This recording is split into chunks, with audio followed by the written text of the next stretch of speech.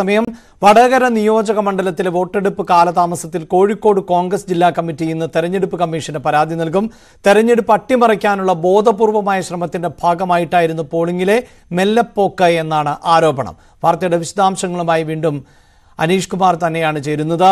അനീഷ് ഈ ആരോപണം ആ തെരഞ്ഞെടുപ്പ് സമയത്ത് തന്നെ വോട്ടെടുപ്പ് സമയത്ത് തന്നെ കോൺഗ്രസ് അറിയിച്ചതാണ്. കോൺഗ്രസിന്റെ നേതാക്കൾ വ്യക്തമാക്കിയതാണ്.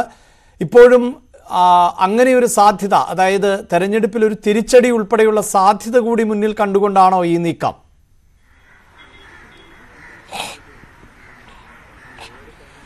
തീർച്ചയായും ഈ രണ്ട് മുന്നണികളും സംബന്ധിച്ചിടത്തോളം അവർ വലിയ തോതിലുള്ള വിജയം അവകാശപ്പെടുമ്പോഴും ഉള്ളിൽ ആശങ്കയുണ്ട് എന്ന് തന്നെയാണ് നേതാക്കളുടെ പ്രതികരണത്തിൽ നിന്നും വ്യക്തമാകുന്നത്. കോൺഗ്രസ് പോളിംഗ് ദിനത്തിൽ തന്നെ രണ്ട് പരാതികളുമായാണ് രംഗത്തെത്തിയത്. ഒന്ന് കോൺഗ്രസിന് സ്വാധീനമുള്ള അല്ലെങ്കിൽ യു ഡി എഫിന് സ്വാധീനമുള്ള മേഖലകളിൽ പോളിംഗ് മെല്ലെ പോകുന്നു എന്നതും ഓപ്പൺ വോട്ടുമായി ബന്ധപ്പെട്ട് മാനദണ്ഡങ്ങൾ ലംഘിച്ച് വോട്ട് ചെയ്യാൻ ഉദ്യോഗസ്ഥർ അനുവദിക്കുന്നു എന്നതുമാണ്.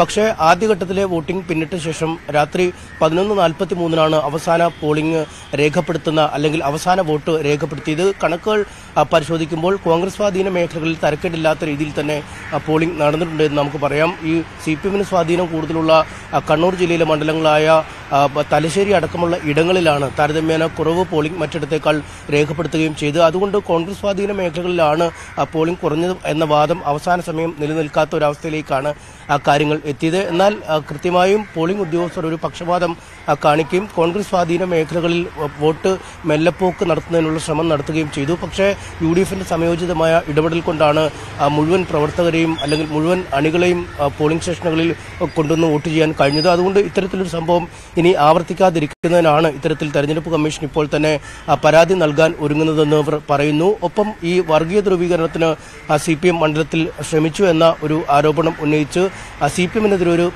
പ്രചാരണ പരിപാടികൾ സംഘടിപ്പിക്കാനുള്ള ഒരുക്കവും നടത്തുന്നുണ്ട്. എന്തായാലും വടകരയിലെ പോരാട്ടം കഴിഞ്ഞെങ്കിലും ഇരുപക്ഷവും തമ്മിലുള്ള വീറും വാശിയോടെയുമുള്ള സൈബർ യുദ്ധം ഇപ്പോഴും തുടരുന്നു എന്ന് തന്നെയാണ് ഏറ്റവും ശ്രദ്ധേയമായ കാര്യം. പ്രത്യേകിച്ചും ശൈലജ ടീച്ചർക്കെതിരെ യൂത്ത് കോൺഗ്രസ് സംസ്ഥാന അധ്യക്ഷൻ അടക്കമുള്ളവർ വർഗീയത ചാർത്തിയുള്ള ആരോപണങ്ങൾ ഉന്നയിക്കുന്നു. മറുവശത്ത് ടീച്ചറെ കാഫർ എന്ന് വിളിച്ചു പോലും അവസാന നിമിഷം വോട്ട് തേടാൻ യു ഡി എഫ് ശ്രമിച്ചു എന്നാണ് എൽ ഡി എഫിന്റെ ആരോപണം. താൻ വർഗീയതയോട് ഒരിക്കലും സന്ധി ചെയ്തിട്ടില്ല. തന്നെ വർഗീയ ചാപ്പ് കുത്താനുള്ള നീക്കങ്ങളാണ് എൽ ഡി എഫ് നടത്തുന്നതെന്ന് പറഞ്ഞ് ഷാഫി പറമ്പിലും ഇന്നലെ രംഗത്തെത്തുകയും ചെയ്തിരുന്നു. എന്തായാലും ചുരുക്കത്തിൽ വടകരയിലെ പോളിംഗ് സ്റ്റേഷനിൽ ആളുകൾ എത്തി സംവിധാനാവകാശം വിനിയോഗിച്ചെങ്കിൽ പോലും സൈബർ യുദ്ധവും ഒപ്പം നേതാക്കൾ തമ്മിലുള്ള പരസ്പരമുള്ള വാക്പോരും തുടരുകയാണ്.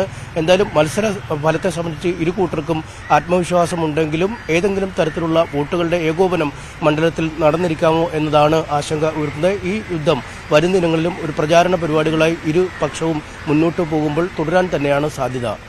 ആരോപണത്തിനപ്പുറത്ത് രേഖാമൂലമുള്ള പരാതിയിലേക്ക് കടക്കുകയാണ് കോൺഗ്രസ്. ഇനി ദേശീയ